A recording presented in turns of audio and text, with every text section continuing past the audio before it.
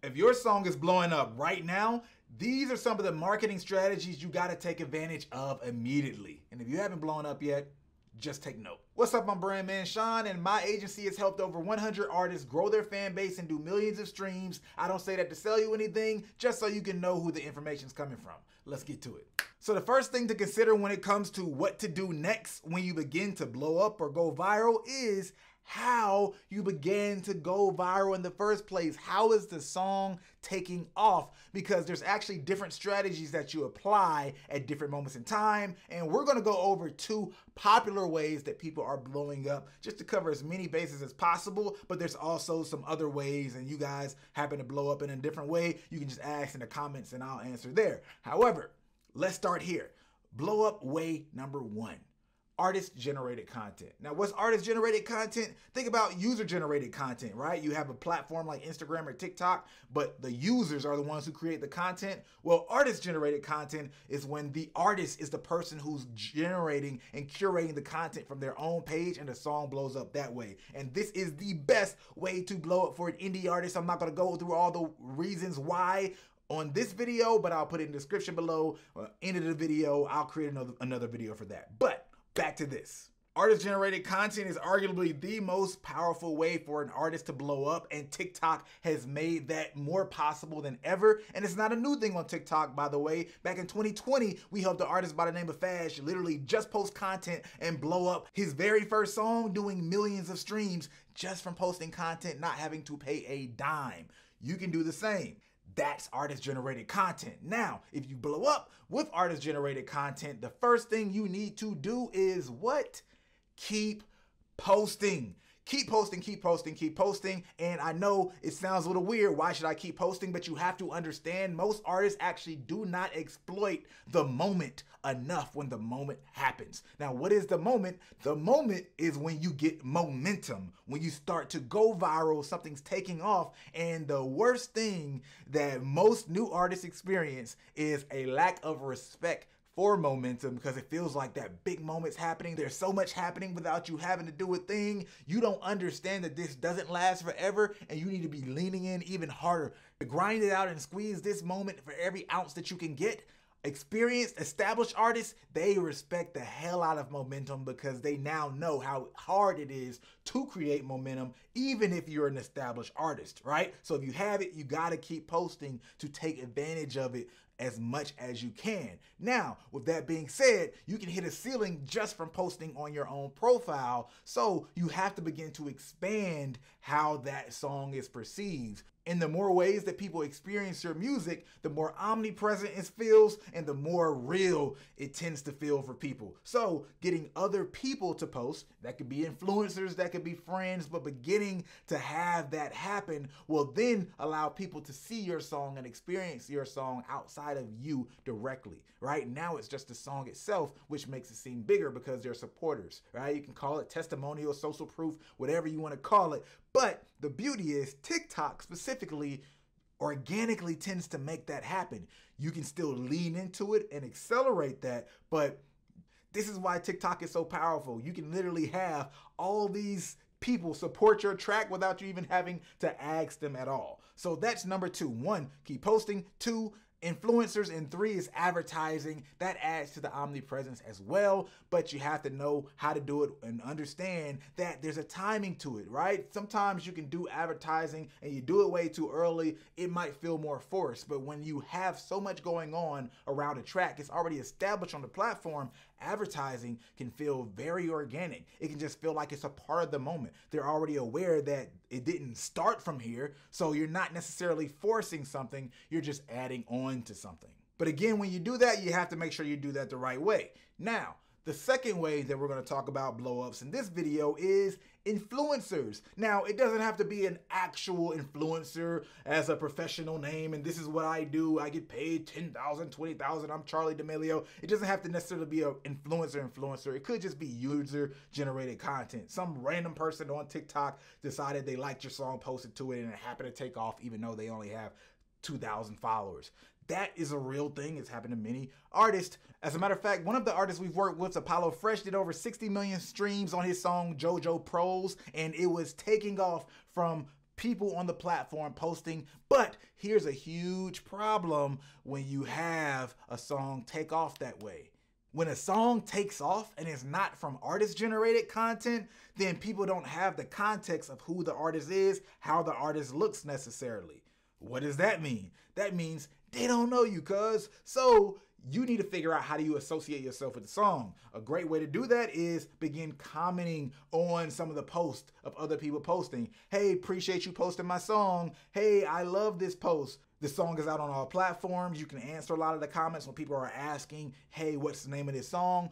All of that stuff is possible. You can definitely do that. It works, it helps. Another thing is to duet the song specifically. The song's blowing up. You you see some influencer posted or some random person and it's doing well. You want to duet that as fast as possible and say, "Hey, this person posted my song and it's going viral," or "My song's going viral," or "Thank you for posting." Something like that, right? Where it's very obvious that this is your song. And if you can time it, you want to choose somebody's post that's just taken off, not before it takes off because it might never take off, but a, a post that's obviously going viral, is moving fast, and you want to do that do it that post as fast as possible.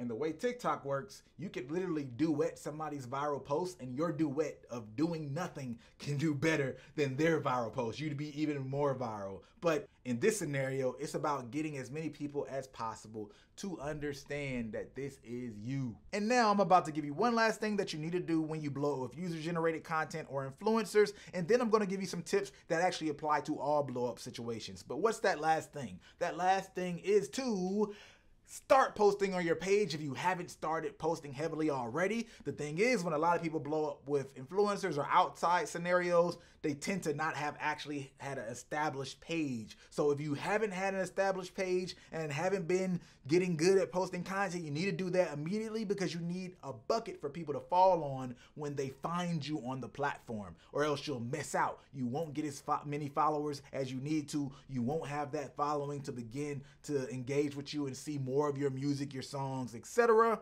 But if you've already been posting and already have a decent profile, you're in a perfect position. Keep posting, doing your thing, and that's it. All right. Now, what are some of these additional tips that you need to make sure that you do when you begin to blow up with a song? Well, the first thing is YouTube. Now, you could do an official music video. I advise create a music video after your song begins to blow up.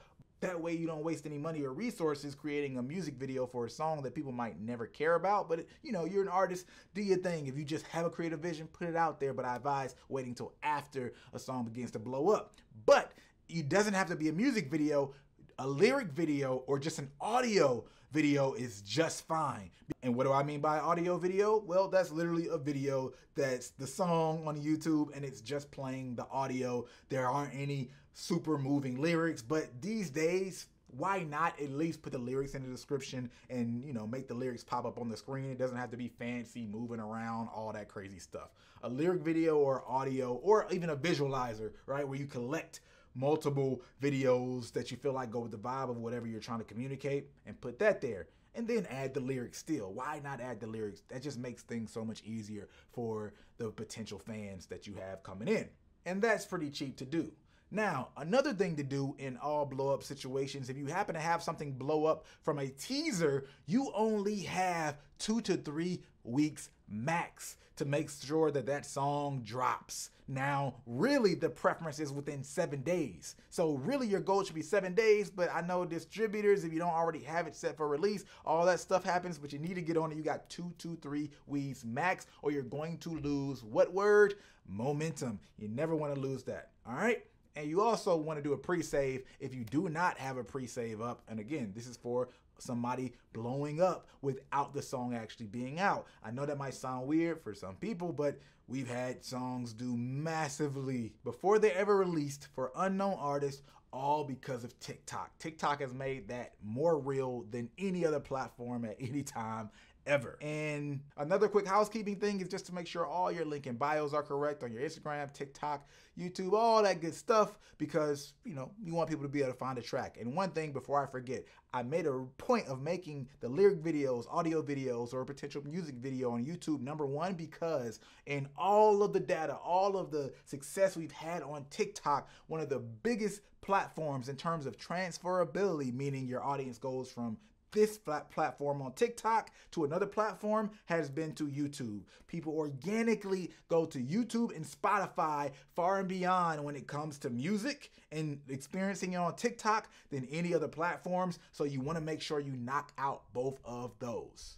And last but not least is name your song correctly. Or if you didn't name it, name it. And what do I mean by name it? I'm talking about the original sound. Oftentimes, if you post it on your song, because yes, you can distribute your song into TikTok's official library, but that doesn't mean every single one of your posts will be to that sound in the official library. You might forget or just decide not to do it, and you need to make sure the original sound is written out specifically as the artist name, song name, song name, artist name, however you want to do it. There's not huge you know, impact versus one or the other, but you need to do it. This makes it easier for people to go find your song because the culture, most people already know, hey, if I look at the name of the sound, I can find the name of the song. And when you begin commenting, then people will see on the post, oh, Brandman is posting on this song, and the sound says this is Brandman's song called Whip It. I don't know, just making something up. So that allows you to post sometimes and get attention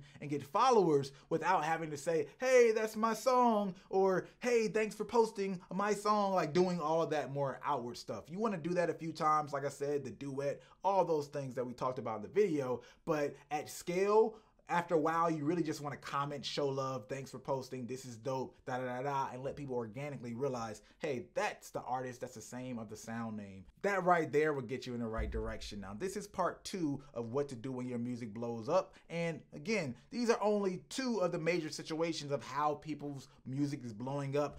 TikTok isn't the only way that you can blow up your music. There's still other ways that we have recently still been blowing artist music up, but I'm not gonna lie, the vast majority of blowups are happening on TikTok today. So hopefully this touches bases and, and resonates for you if you're blowing up in one of these ways. And if you haven't yet, just keep this stuff in mind and hey, hopefully you're blowing up soon. And that's it for this video. Peace.